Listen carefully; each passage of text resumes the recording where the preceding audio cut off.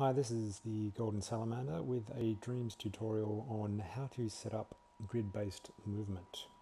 By this I mean how to move an object or a character one space at a time. So if we go into play mode here and we're controlling the blue block whenever we press a direction on the D-pad.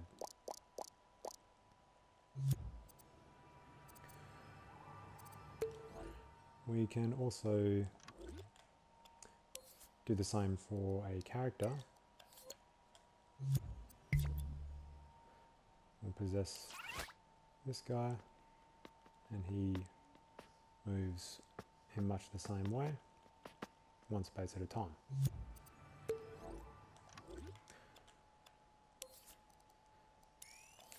So you might find this useful in a puzzle game or just when you need to uh, move things a precise distance.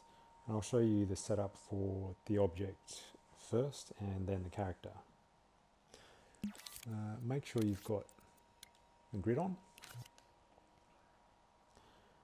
And I've got the block set up here and the way it works is with teleporters. So four teleporters, one for each direction.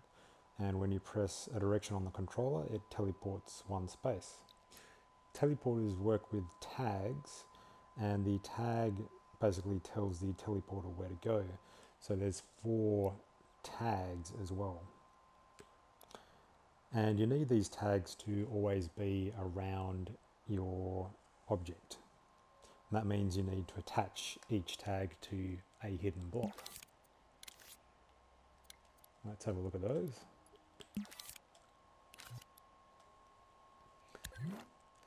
So each hidden block has a directional tag and each of the teleporters corresponds to those tags.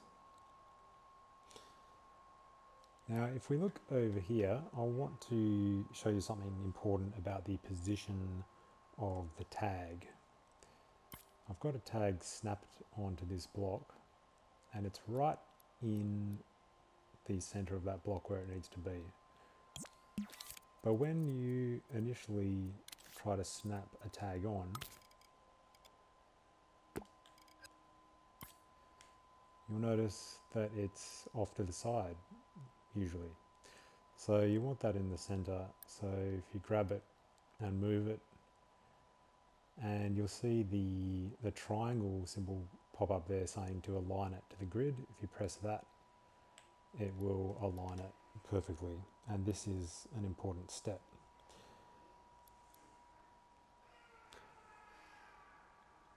Uh, if you don't have it um, right in the center, the object is going to move slightly to the left or right or up or down when it teleports and your game is not going to work properly. So you need to center the gizmo and you also need to do the same thing for the teleporter gadgets. So you'll see each of these teleporters, the gizmo is right in the center.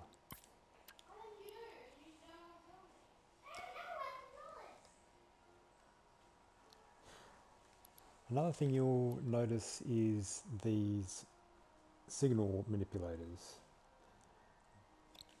If I open one of these up, you need one for each teleporter. And if you set the signal manipulator to pulse that on, it doesn't matter how long you hold the directional button down, it will convert this signal to a pulse of just the right amount to move the object once. If you don't have these signal manipulators, the object will keep teleporting while you're holding down the button and it will try to reach the tag and keep moving while you do while you do so. So that's basically how that one works. I'll quickly mention this one over here, which is a slightly different method before I go on to the playable character. And so the red block works in almost exactly the same way, but it uses the left stick rather than the D-pad. If you prefer to use the left stick, you just need to add a couple of splitters for each teleporter. And these come in before the signal manipulator. Splitters are a bit more complicated. Uh, what you're doing is essentially splitting the 360 degree movement of the stick into four discrete directions. So the first splitter gives it either an up down or a left right movement, and the second splitter chooses whether it's going to be left or right or up or down.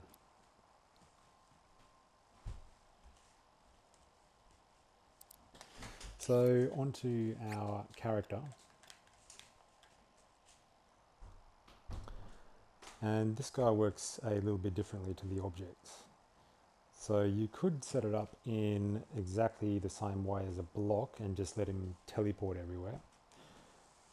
But it might look a bit unrealistic. Instead, you probably want to see the character walk. And for this to work, I'm using the follower gadget. Followers also work with tags. So you might think, okay, I'll just attach some tags to some hidden blocks and group those blocks to the player. But this doesn't really work. If we look at this character over here, and to get him to work, I'll just turn this off. We'll possess this guy.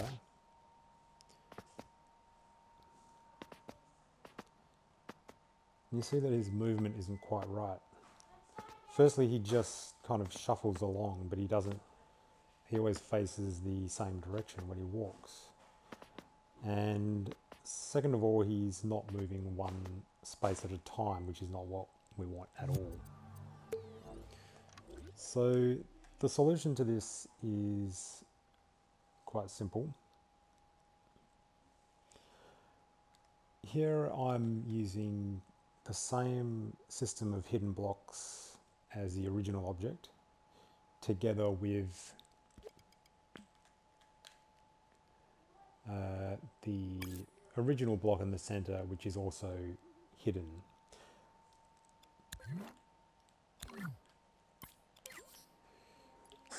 This time the controller center is set to remote controllable and since we'll be taking possession of the character and so now whenever we press one of the directional buttons we're controlling the group of hidden blocks and the character at the same time.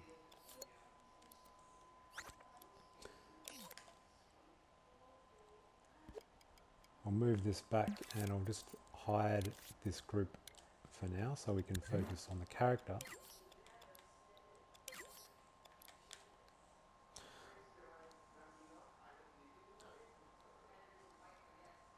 Notice here that the, the D-pad is not uh, plugged into the puppet interface to make it walk. And instead of having four followers, we're only using one follower. So whenever the player presses any direction,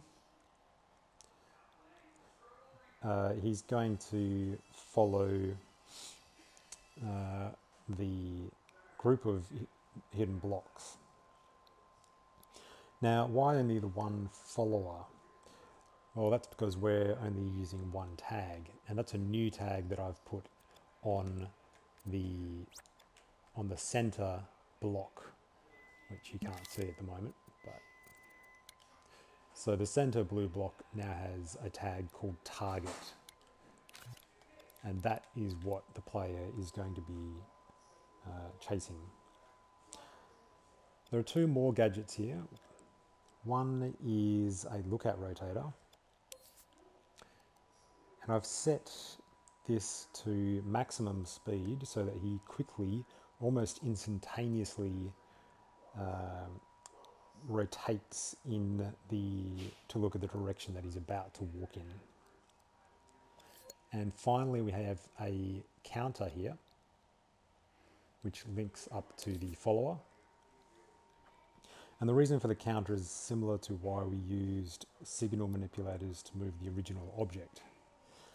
Um, in this case, we don't just want the character to follow the hidden blocks while we've got our thumb on the directional button, because this will introduce imprecise movement.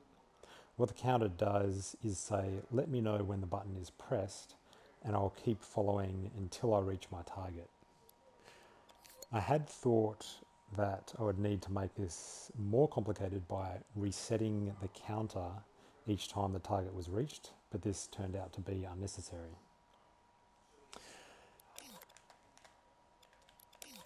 Well, if you have any questions about this tutorial or requests for more Dreams tutorials, feel free to leave a comment and I'll try to respond if it's not too advanced. That's it for now. I hope you found this useful and see you next time.